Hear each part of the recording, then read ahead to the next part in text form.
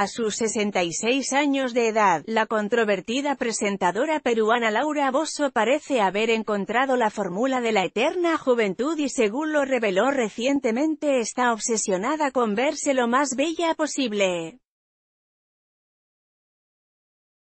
Durante una reciente rueda de prensa en la que presentó su libro Más allá del infierno, la estrella de la televisión confesó haber encontrado en los procedimientos estéticos a su mejor aliado para combatir el paso del tiempo. Porque uno es mayor se tiene que ver como una anciana. No, a mí me gusta verme bien, así cumpla 80, 90 años, aseguró Bosso a las cámaras del programa El Gordo y la Flaca de Univisión. Obsesionada por la belleza y por la moda siempre, añadió.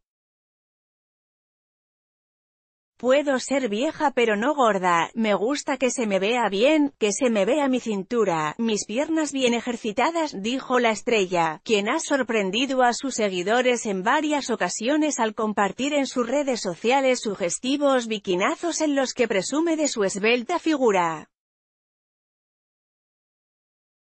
Suscríbete a nuestro boletín, por supuesto, la peruana no ocultó su gusto por las ayudas estéticas para conservar su imagen y de hecho reveló tener el rostro inflamado ya que días atrás se había sometido a algunos procedimientos. Me acabo de poner plasma y los rusos en toda la cara, confesó la presentadora. Curiosamente, Laura también reveló que su obsesión por la belleza genera cierta preocupación entre su familia.